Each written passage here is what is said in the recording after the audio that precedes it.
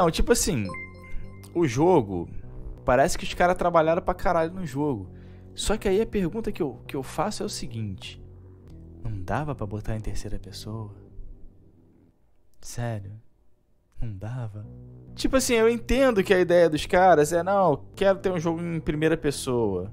Mas caralho, esses jogos em primeira pessoa. Não adianta, cara, não tem a mesma imersão. Porque, tipo assim, o jogo tem tanta coisa maneira que se tu botasse um personagem bem feito ali, ia ficar estilo um GTA de zumbi, cara. Não ia? Ia ficar estilo um GTA de zumbi. Não sei, cara. Eu, eu, eu, tenho, eu tenho ficado com um pé atrás muito grande com esses jogos em primeira pessoa, cara. O estilo de jogo é primeira pessoa.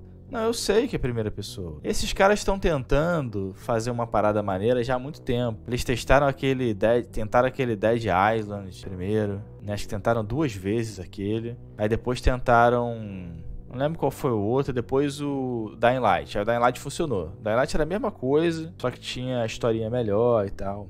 É, eu também achei uma merda o Dead Island. A indústria tá forçando muito primeira pessoa. É, mas no caso desse jogo aí, por exemplo, quando você vê o Cyberpunk, o Cyberpunk ele é em primeira pessoa por, por falta de habilidade preguiça, os caras não quiseram trabalhar. Porque o Cyberpunk era um jogo de RPG, e num jogo de RPG você precisa trocar as paradas do teu boneco, precisa fazer um monte de coisa.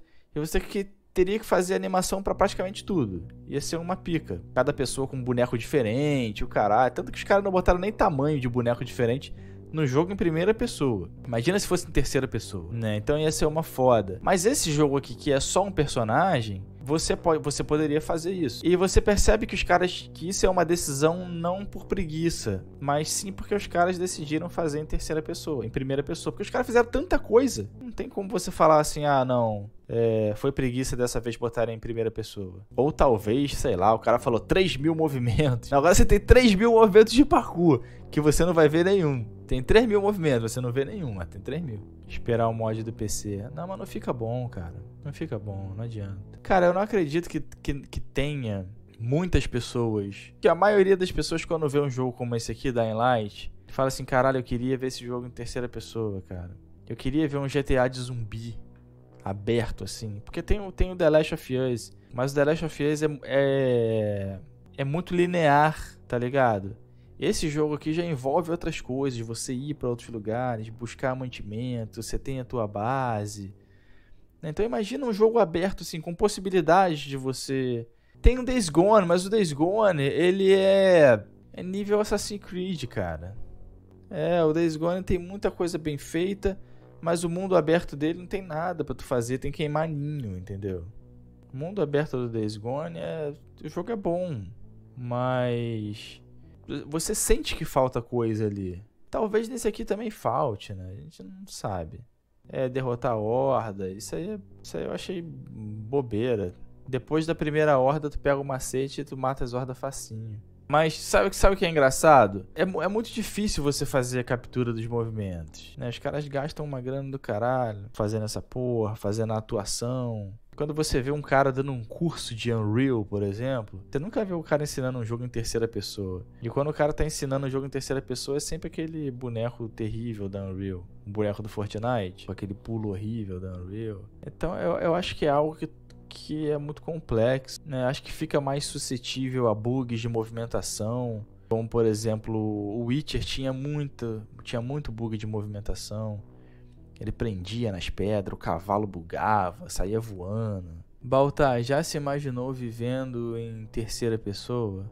Já. Aliás, eu sempre quis me ver. Por isso que a gente se olha no espelho. Prometeram um grande jogo. É, me parece, me pareceu sim, cara. Me pareceu que tá maneiro. Você viu que o combate foi aprimorado, tem aquele lance das decisões, que é uma, uma coisa muito difícil de você fazer no jogo e ficar bom, né? Que tipo assim, é, em alguns jogos, até mesmo o GTA e o Red Dead, eu acho que nem tinha que ter essa porra de decisão. Porque não funciona. Pura besteira ter essa porra de decisão. Não, o Red Dead, o final muda dois segundos de, de, CG. E ainda tem o lance do co-op, né? Pode ser que fique mais legal ainda você jogar em co-op. Eu não sei se eu arrisco jogar um o Deadlight o primeiro em co-op com a galera. É, eu acho, eu acho essa porra de parkour idiota, né? Mas pro tema do jogo, o parkour é interessante, porque é mais ou menos como se eles tivessem perdido a tivessem perdido o acesso às ruas por conta da zumbarada né, por conta das plebe. Então eles começam a, a, a ter acesso, a construir a, os acessos dele por cima dos prédios. Então esses caras que tem mais os caras que são mais habilidosos, parcuzeiro, eles conseguem sobreviver. Foi um mundo, 20 anos depois, que não tem mais gordo. Eu nunca vi um gordo fazendo parkour.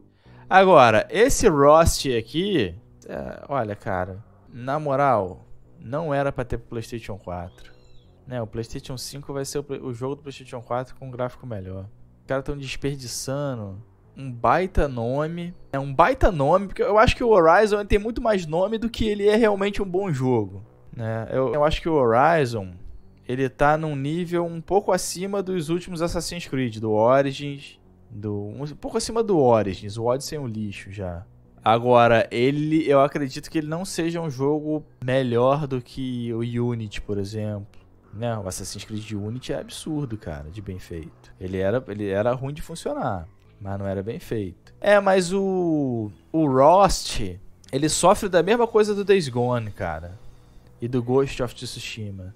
Quando você chega na cidade, os NPCs são foda-se. É, não, não tem vida nenhuma. É, o próprio mapa não tem nada para se fazer não tem nada para se descobrir. Você vai simplesmente seguindo a história num jogo de mundo aberto. As armaduras que você tem são pouquíssimas, as armas que você tem são pouquíssimas. NPC sem rotina, é.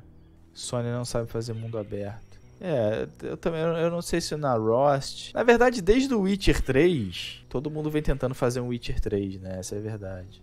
E o Rust é muito bom, né? Eu tô comparando com Assassin's Creed os antigos, porque os antigos são muito bons também.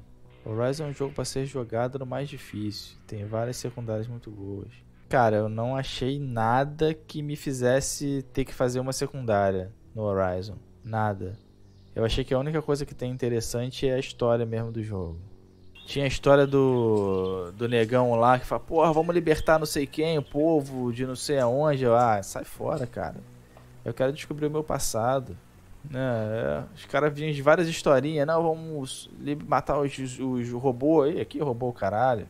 Não tinha por que ela fazer essa porra Rust. Agora, é, é uma franquia que tem tudo pra, pra pegar também. Eu espero que haja uma evolução. É porque, é porque depois que você joga o Red Dead 2, todos os seus conceitos de mundo aberto são atualizados, cara. Não tem como.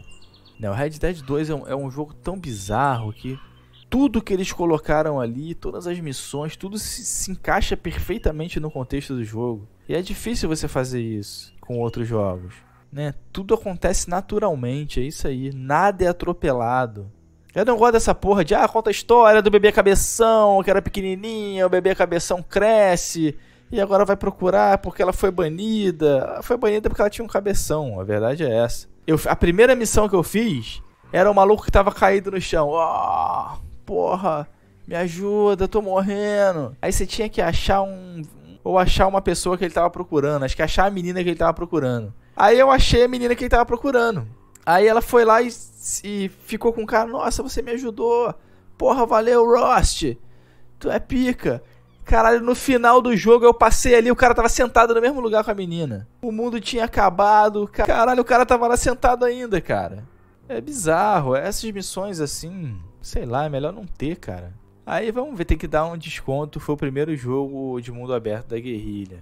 É, não, eu imagino. Uma coisa a gente tem que, a gente tem que colocar também na, na, na equação. Quando os caras vão fazer um jogo, os caras não podem apostar tudo, né, cara? Porque se dá errado, o estúdio quebra. Imagina os caras fazem um. Por exemplo, a, a guerrilha chega lá e fala: não, vamos fazer um jogo nível Red Dead. Aí os caras vêm, ai, nossa, mano, que jogo lento, mano. Tem muita gente que não gosta do Red Dead. Tem muita gente.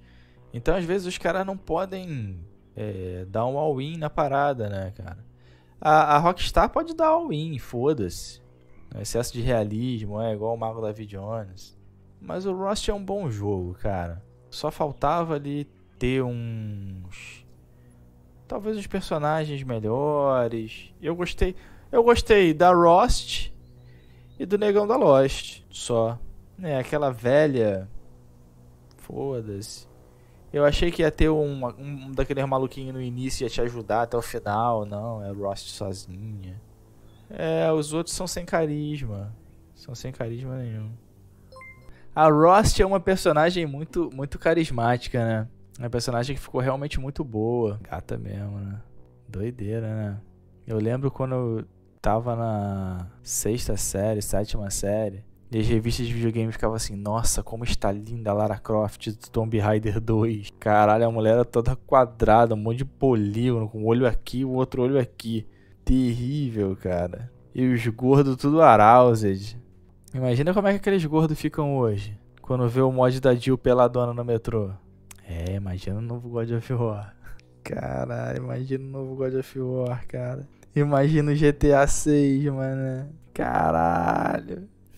Enquanto isso, o especista fica assim: imagina o The Forest, o novo The Forest. Imagina o novo Survival Island. Imagina o novo Savage Starlight.